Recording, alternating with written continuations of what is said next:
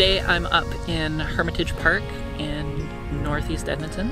Um, they've got a dog park up here and they've got lakes and right now they have geese. I should actually figure out what I'm gonna say first, shouldn't I? Mm -hmm. Okay, so I was really surprised with how well A Long Road to Peace was received. And now there are all these conversations starting about maybe we want to go get distribution, maybe we want to put it on Netflix. And we had this originally, we were just going to put it on YouTube and let the world see it. But it looks like maybe we're going to try to go somewhere with this film um, instead of waiting for the next one, which is really exciting and kind of stressful because I've never done anything like this before with any kind of uh, film project. So I have no idea how the next couple of weeks are gonna go, or the next couple of months, or the next couple of years. Honestly, let's let's be real. But um, it's gonna be exciting.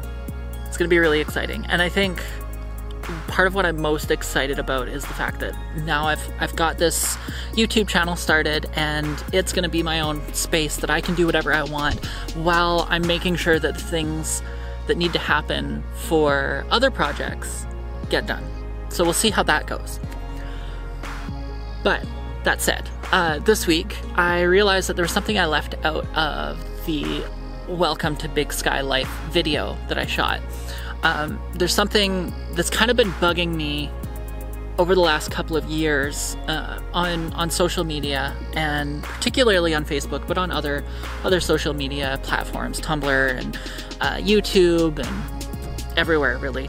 Um, and that comes down to the type of discourse that we're having with each other. Um, what what it seems to me like is that we have a lot of a lot of tools that allow us to talk to each other, um, but one of the downsides to that is that with more people talking to each other and talking to us, we get overwhelmed, um, and those those conversations all happen really quickly. They happen in rapid succession, and we never really have time to process them and sit back and think about them. And I want to slow the conversation down.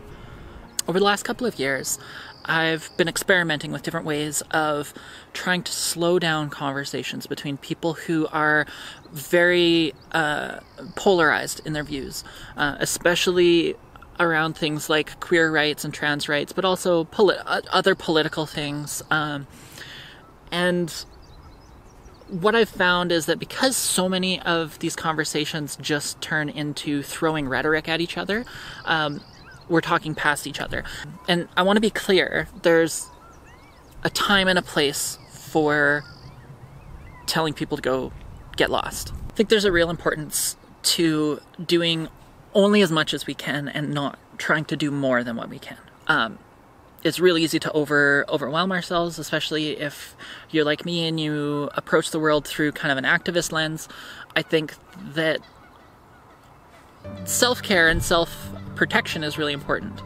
And at the same time, I think that there are ways to develop uh, approaches to conversations online that minimize the energy that it takes from ourselves and maximizes the end result. I want to cover kind of the the why um, and the how initially. Oh, a puppy just chased a whole flock of geese into the lake, and it's really cute.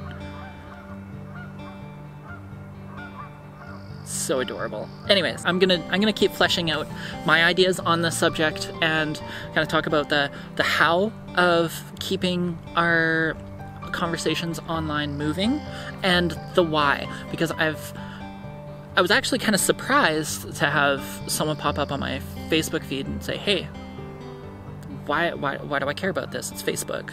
Um, it's online. It's there's there's a reason that there's a word or there's a reason that we call them keyboard warriors, right?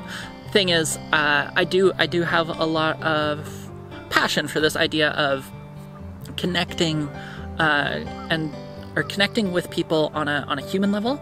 Uh, I think that's that's kind of the crux of it. Um, I'm gonna keep I'm gonna keep working on that um, outlining it properly and, and actually make it into something that's a little less rambly than this. Uh, in the meantime, in the next couple of weeks, you can expect some Pride videos because Pride Week here in Edmonton is coming up. Uh, you can expect some discussions on both the history of Pride and um, what Pride looks like now and what Pride is to me. Um, as well, I think I've got a, uh, a Big Sky story coming up. The first Big Sky story is going to come up. So expect that. Um, keep an eye on YouTube. And with that, I'm to go get some geese footage. Some goose footage? Geese, meese, gooses? Let's go.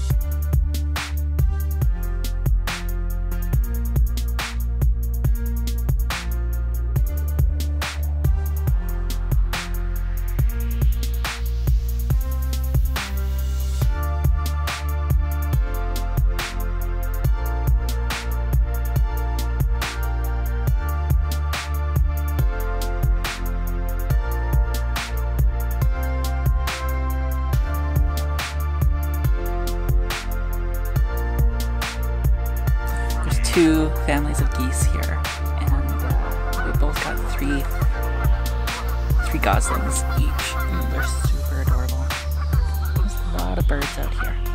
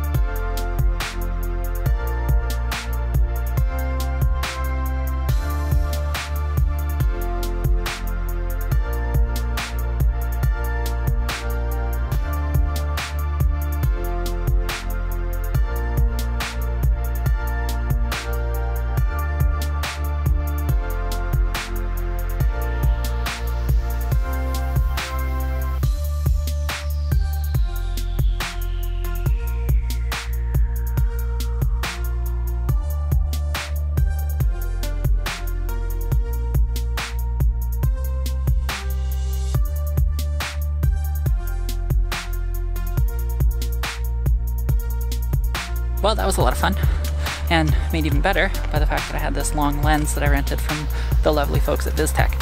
So I have it for a couple more days. I've got it for the full weekend, and uh, maybe I'll try and try and get some more footage tomorrow or Monday morning. We'll see.